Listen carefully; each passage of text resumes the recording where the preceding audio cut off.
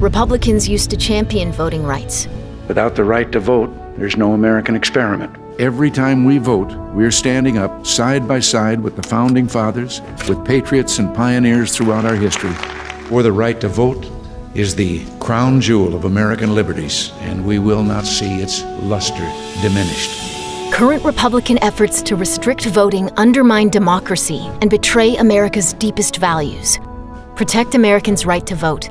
Join us at Republicans for Voting Rights at rvr.gop.